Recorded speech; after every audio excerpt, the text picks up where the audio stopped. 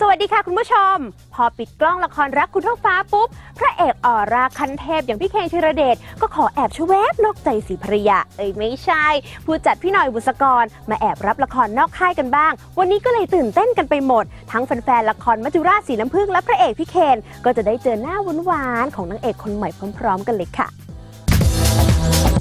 มา fitting เป็นพระเอกในละครเรื่องใหม่มัจจุราชสีน้ำผึ้งที่ค่าย Broadcast แม่เหล็กตัวพ่อเคนธีรเดชยังหน้าหล่อยาวอมตะเหมือนสตาฟอายุไว้เลย ขนาดมาประกบกับนางเอกน้องใหม่น้ำตาลพิจักขณายังดูไม่ออกนึกว่าเป็นพระนางคู่ใหม่ล่าสุดของวงการบันเทิงทำไมเหลือบเห็นสาวน้ำตาลเกรงตัวโก่งเพราะได้ประกบคู่กับพี่เคนซะก่อน โดยเรื่องนี้หนุ่มเคนพลิกลุกตามคำเรียกร้อง มาเป็นเจ้าของไร่ชาใจนักเลงดิบเถื่อนเป็นครั้งแรก เห็นสายตาคมแข็งกร้าวสาวๆได้กรี๊ดกันอีกแน่ค่ะ ด้านน้องน้ำตาลเรื่องนี้ก็ต้องสวยหวานชนิดที่ใครเห็นก็ต้องหลงรัก แถมเก่งทั้งงานในบ้านนอกบ้าน เรียกว่าทั้งบททั้งพระเอกดันเต็มที่ค่ะ เตรียมขึ้นแท่นเป็นนางเอกขวัญใจคนดูคนใหม่ได้เลยค่ะ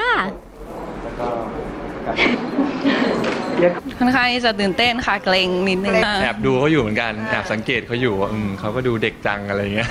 ไม่ต้องดันหรอกก็ดูน้องเขาโอ้ก็ดูมีเสน่ห์แล้วก็ก็น่ารัก ก็เชื่อว่าเดี๋ยวพอทำงานไปเรื่อยๆ ก็จะเขาเรียกว่าอะไรมันก็จะมีความคุ้นเคยกันมากขึ้น แล้วก็ทุกอย่างก็น่าจะลงตัวได้ดี ค่อนข้างที่จะกดดันนิดนึง เพราะว่าด้วยบทของตัวละครรจนาชนัยเนี่ยค่อนข้างที่จะไกลตัวน้ำตาล เพราะว่ารจนาชนัยจะเป็นคนที่แบบเรียบร้อย แล้วก็ชอบระบายออกด้วยการร้องไห้ ก็คงต้องทำกันบ้านหนักนิดนึง แต่ว่าก็จะ ทำให้เต็มที่เพื่อที่จะให้ผลงานออกมาอย่างดีที่สุด ครับยังไงก็อยากให้ติดตามข่าวตรงนี้ไปเรื่อยๆก่อนว่าเดี๋ยวเราจะมีทำอะไรกันอีกเปิดกล้องเมื่อไหร่อะไรไงไงก็ตามข่าวเรื่องมัจจุราชสีน้ำผึ้งไปก่อนนะครับเจอนางเอกสดใสขนาดนี้แอบเห็นพี่เคนกระชุ่มกระชวยไม่น้อยเลยนะคะ เบื้องหลังน่ารักสนุกแน่นอน แล้วสีสันบันเทิงจะเก็บภาพมาให้ชมกันอย่างต่อเนื่องค่ะ